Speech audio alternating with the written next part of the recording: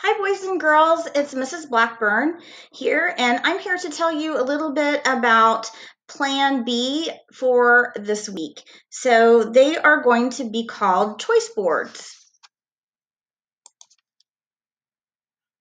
So I think you're going to be rather happy with the assignments for the, this week. Students have shorter assignments and can choose between three activities in each course.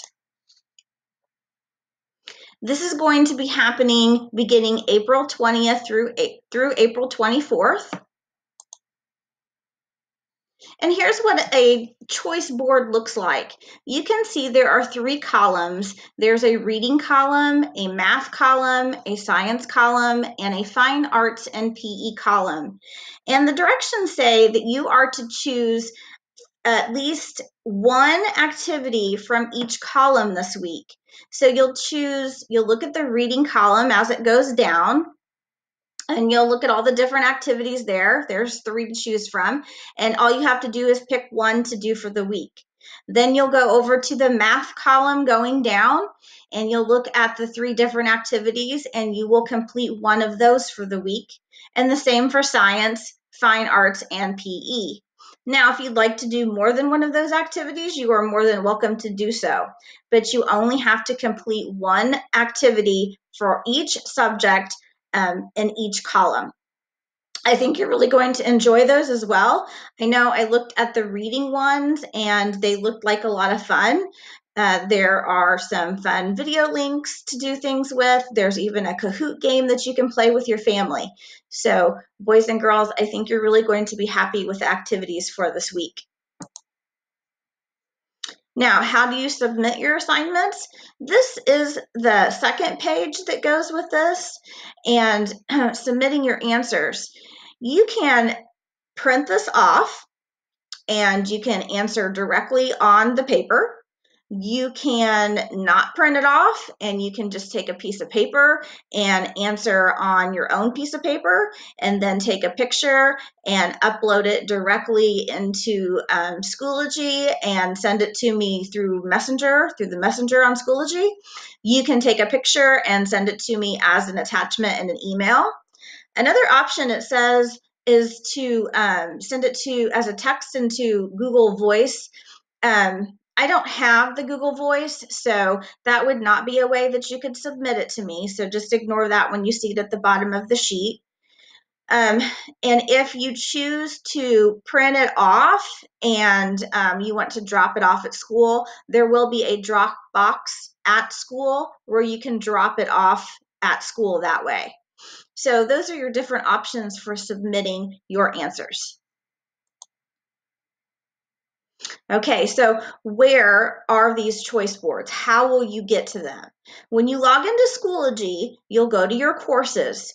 Now, we you have a homeroom course you have all year long and i know some of you have kind of poked around or been in there before and some of you may never have looked in there before well you're going to have another homeroom course now so this is going to be a new one. It's going to look a little different.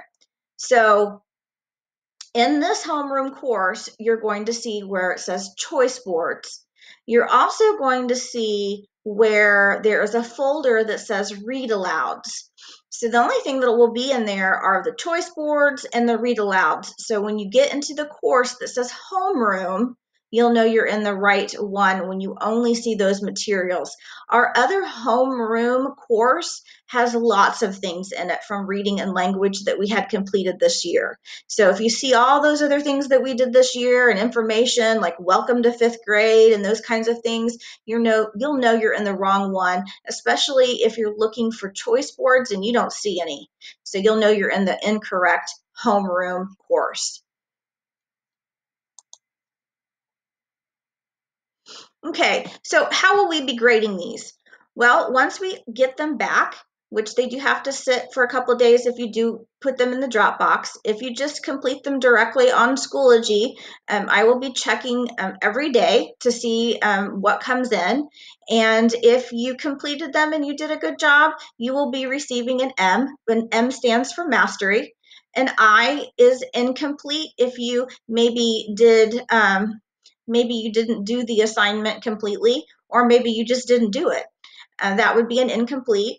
Not yet met means that you did not meet the goal, you did not meet the standard and um, for the assignment.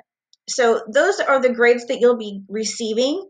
And um, those will also be what you'll see on your report card when you get your report card coming up here soon. Um, those you'll be receiving in the mail.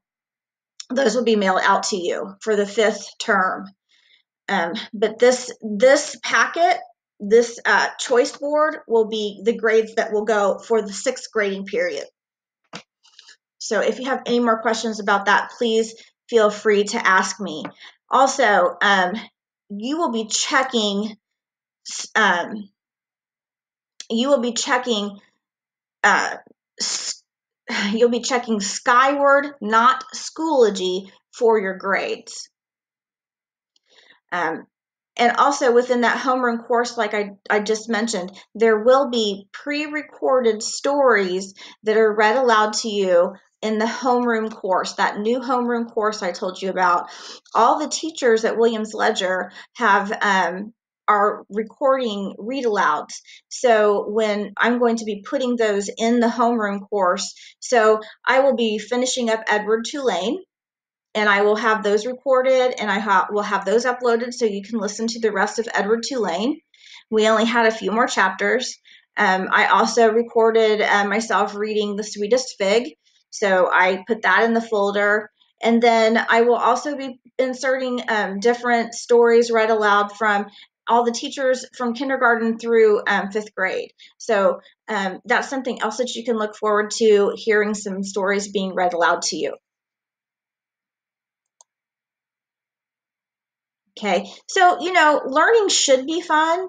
Um, and I hope this makes um, learning more fun for you. I know it's been challenging for me as a teacher and you as a student and parents. I know it's been challenging for you too. So um, I'm very proud of all of you and the hard work you're, you're, you've done. I do believe that um, this will be a more enjoyable way for you to learn this next coming week. And again, parents and students you'll need to check Skyward, not Schoology, for the grades that the students have earned on their work. And it, I, you have all been so inspiring. The parents that have worked so hard um, to contact me and get information. And um, I've worked really hard to set up some conference calls. Um, some of you, we've talked on the phone, we've done video conferencing, we have um, you know, uh, set lots of messages all throughout the day, in the morning, in the evening, and emails. Um, keep up the good work. You're very inspiring. I'm very proud of all the hard work parents and students that you're doing.